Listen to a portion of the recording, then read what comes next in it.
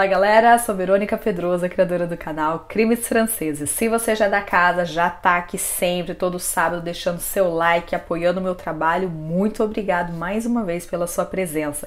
E se você tá chegando novo, nova, seja muito bem-vindo, bem-vinda. E já fica sabendo que esse canal aqui é pra gente bater papo, não é narração não, viu? É pra gente conversar nos comentários e pra gente ficar sabendo que as pessoas são uma caixinha de surpresa e infelizmente a gente não conhece ninguém. A criminalidade existe em qualquer lugar do mundo mundo e cabe a você cuidar da sua segurança, porque ninguém vai fazer isso no seu lugar.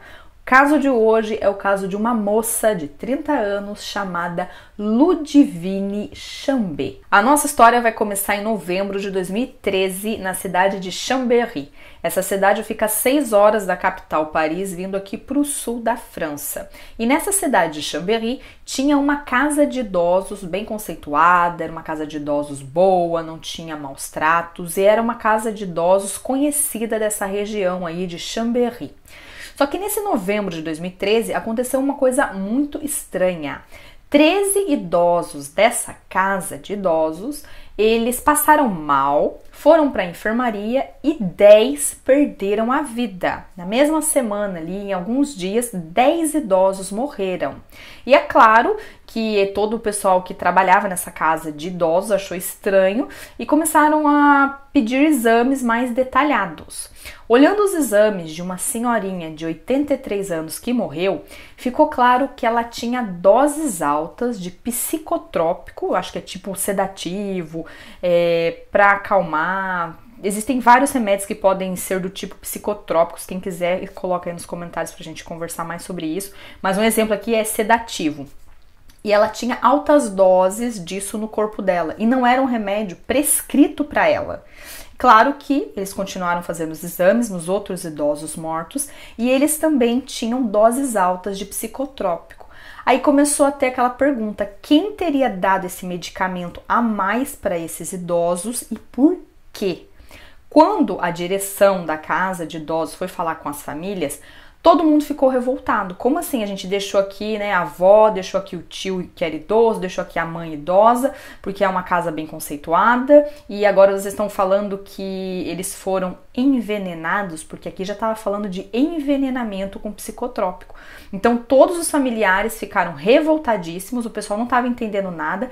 Quem é esse monstro que está aqui envenenando esses idosos? Até então, ninguém sabia de nada. A única coincidência entre esses 13 envenenados, os 10 mortos, era a enfermeira Ludivine, de 30 anos, que era solteira e não tinha filhos. Todas as vezes que os idosos passavam mal, a Ludivine estava por perto. Ela que estava ali passando no quarto, ela que chamava os médicos, ela que pedia ajuda, ela sempre estava por perto. E é claro que uma investigação começou e ela foi chamada até a delegacia no dia 10 de dezembro. E logo que o delegado começou a conversar com ela, e aí Ludivine, o que está acontecendo, né? Os idosos estão morrendo, mas é muito estranho, você sabe de alguma coisa? De cara, minha gente, ela falou: Eu fiz isso, é, eu não queria matar os idosos, eu só queria aliviar a dor deles, porque eles estavam em sofrimento, eles estavam sofrendo. Mas eu não fiz por mal, eu queria realmente aliviar a dor dessas pessoas no fim da vida. Claro que depois que ela falou isso, ela já ficou presa porque ela tinha muita coisa para explicar. Vou falar um pouquinho aqui da vida da Ludivine para a gente começar a entender a cabeça dessa mulher de 30 anos e por que, que ela fez tudo isso. Ela era uma pessoa normal, como eu e você. Teve uma infância tranquila, pai e mãe presente. Ela foi para escola, tinha as coisinhas dela, não era ricona, mas também não era aquela pessoa que passava por dificuldades. Teve, tinha uma vida normal, classe média, tranquilo. O que ela queria, ela tinha, tava tudo certo, minha gente. A única coisa que ela sofreu muito na infância, ela sofreu bullying durante toda a infância dela e adolescência. Ela era grande demais para a idade dela, ela era grandona. O apelido dela na escola era a feia. Ela não conseguia fazer amizades. Todo mundo só ficava é, fazendo gracinha, zoeira com a cara dela, piadinha, e ela se sentia realmente a feia da escola, a feia do bairro. Então, o convívio social dela era com quem? Com a mãe e com o pai dela. Ela não tinha muito convívio social, não tinha amizade. Então, foi uma infância difícil com relação a esse bullying que ela sofreu. A mãe dela teve leucemia e ela teve que cuidar da mãe durante muitos anos, tratamento. Ela viu a mãe dela definhar, perder a vida de pouquinho em pouquinho, fazer aquele tratamento pesado. E seis meses antes do envenenamento dos 13 idosos acontecer, a mãe da Ludivine ela morreu. E a Ludivine, ela era muito ligada à mãe dela e ela não conseguia é, vencer o luto, ela não conseguia desligar da mãe dela. A mãe dela fazendo seis meses que tinha partido e ela ainda estava muito triste, angustiada, ela tinha perdido a razão de viver. Os colegas de trabalho da Ludivine lhes disseram que ela estava estressada demais no trabalho, ela só trabalhava, trabalhava, trabalhava. Como eu falei para vocês, ela não tinha vida social, era o pai, a mãe e ela, e ela ia pro trabalho, então ela arrebentava de trabalhar, então ela tava muito estressada. Eles disseram que às vezes lá na casa de idosa ela tava trabalhando e do nada ela saía de um quarto e no corredor ela dava um gritão. Ah! Gritava do nada, sabe? Parecia que ela tinha uma raiva muito grande, uma emoção muito forte e ela gritava. E o pessoal já tinha informado isso para a direção dessa casa de idosos, eles tinham conversado com o psicólogo tal do trabalho, e eles falaram: "Não, é só estresse do trabalho, né? Dá uma folga para ela que tudo vai entrar na ordem aí". Na cadeia, esperando o julgamento, a Ludivine, ela sempre foi muito colaborativa, ela respondia tudo para os investigadores, para a polícia, para o advogado dela, e ela conta abertamente que desde 2012, novembro de 2012, ela começou a envenenar os idosos. De pouquinho em pouquinho ela dava substância, né, psicotrópico, tal, e foi passando, ela nunca foi percebida. Morria um, morria outro, tal. Ela não sabe dar nome essas coisas, mas ela fala que um ano atrás ela já tinha começado a fazer essas coisas.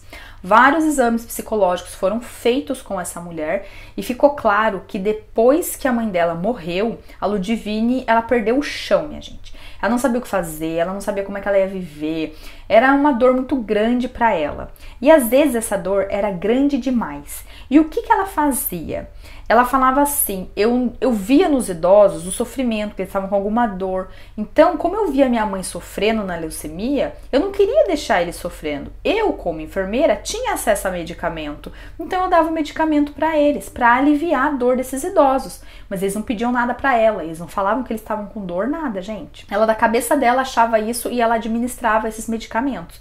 Para os psicólogos ficou claro que ela fazia isso de dar esse medicamento para os idosos como uma forma de alívio, mas era para aliviar simbolicamente a dor dela, a perda da mãe que ela teve. Às vezes ela tinha essa falta da mãe, ela não sabia o que fazer, ela estava perdida na vida. Ela entrava num quarto do idoso sentia aquela coisa horrível, administrava a medicação, saía do quarto, dava aquele grito e bola para frente. Era assim que ela lidava com as emoções dela. Os psicólogos viram que a Ludivine ela era muito frágil psicologicamente e ela estava realmente perdida. Ela não sabia o que ela queria, ela não sabia quem ela era, ela estava assim sem identidade, ela não sabia o que ela queria da vida dela e ela estava com uma dor, uma angústia, uma tristeza muito grande. Mas isso não é justificativa para tirar a vida de 10 idosos, né, minha gente? 10 que a gente sabe, né? Os de antes não foi nada comprovado, não fizeram exames de pós-morte para saberem se tinha mais idosos com essas altas doses de psicotrópico no corpo. Com certeza sim, né? Porque desde 2012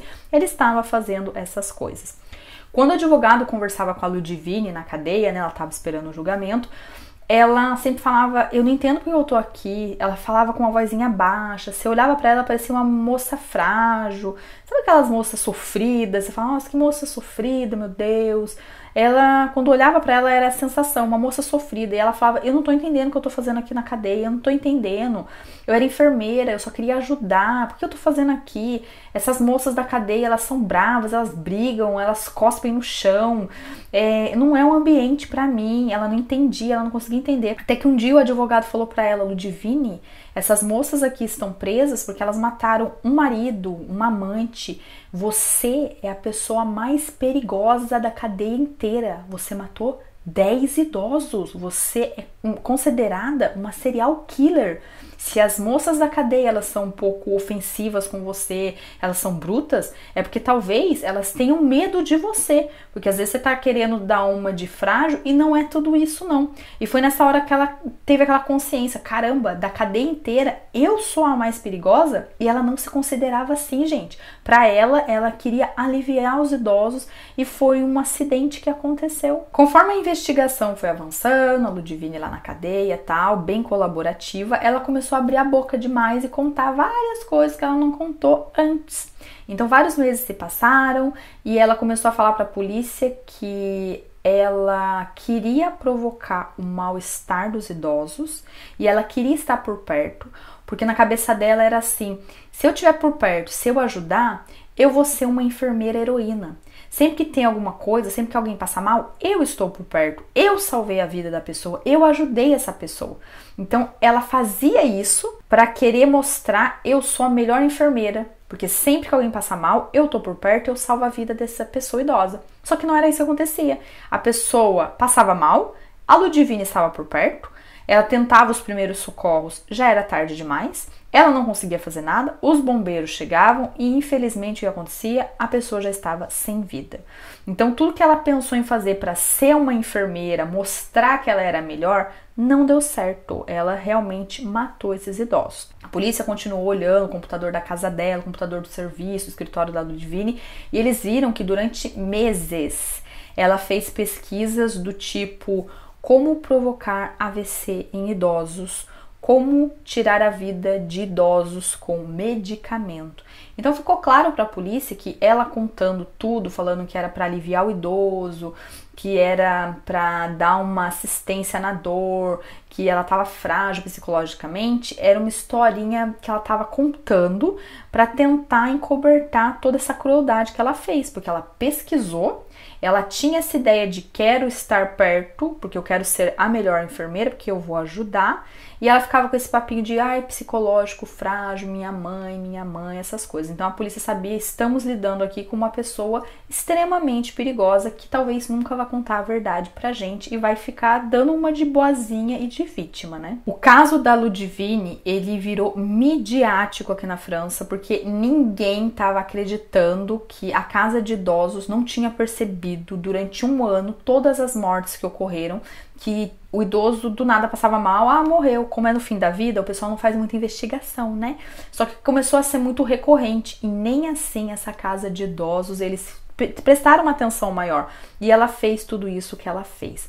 Como virou um caso muito midiático, a Ludivine ela é conhecida aqui na França como a enfermeira assassina de idosos, porque ela matou, tirou a vida aí de 10 pessoas idosas que a gente sabe, né? Porque ela não confessou outras mortes, mas ela começou um ano antes os envenenamentos. O julgamento da Ludivine aconteceu em maio de 2017 e nesse julgamento, quando ela entrou na sala, as famílias das vítimas viram uma mulher totalmente fragilizada, é, para baixo, mal cuidada. Ela não se interessava mais pela vida. Ela estava realmente assim no fundo do poço, dopada, com uma vozinha de criança, falando como se fosse assim, uma vítima, uma coitadinha. Às vezes é, o pessoal perguntava as coisas para Ludivine, ela demorava para entender, parecia que estava raciocinando, demorava e respondia às vezes umas coisas que não tinha nada a ver. Ela pedia muita desculpa, falava que se arrependia do que fez e que não sabe por que ela fez isso. Sempre ela falava isso: eu não sei porque eu fiz, eu peço desculpas, eu só queria aliviar os idosos, eles estavam em sofrimento, eu queria aliviar. Ela sempre falava isso.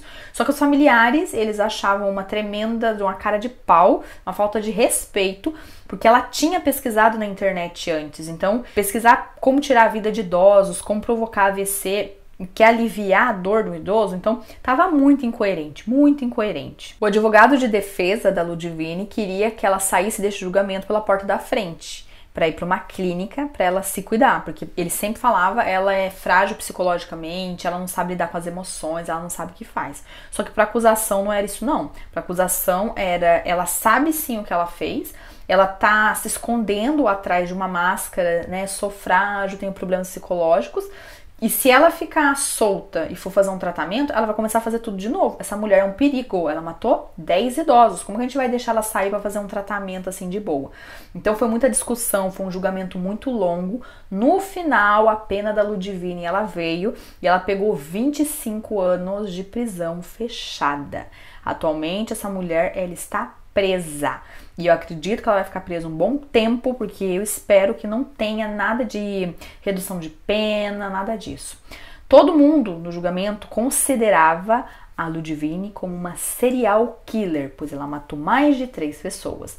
E era bem contraditório, porque no passado dela, ela sempre foi uma mulher muito tranquila, calma discreta. Ela era realmente uma boa profissional. Com desde os 22 anos ela trabalhava nessa área de enfermagem e nunca ela teve nenhum tipo de problema. Então era contraditório como que uma pessoa, né, dependendo de algum evento traumático, faz uma coisa dessas? E até o final do julgamento, gente, ela jurava de pé junto a Ludivine, eu fiz o que eu fiz para aliviar a dor dos idosos. Eu não queria matar, foi um acidente. Mas não adiantou de nada. Atualmente, essa mulher, ela está presa e é considerada assim uma serial killer mulher, que é bem raro aqui na França. Esse foi o nosso caso de hoje, galera. Um caso aí pra gente pensar, refletir, ficar alerta. Eu nem sei o que falar dessa mulher. Será que ela foi tão dissimulada e cruel a ponto de ficar usando essa fragilidade psicológica para tentar sair de vítima dessa história toda?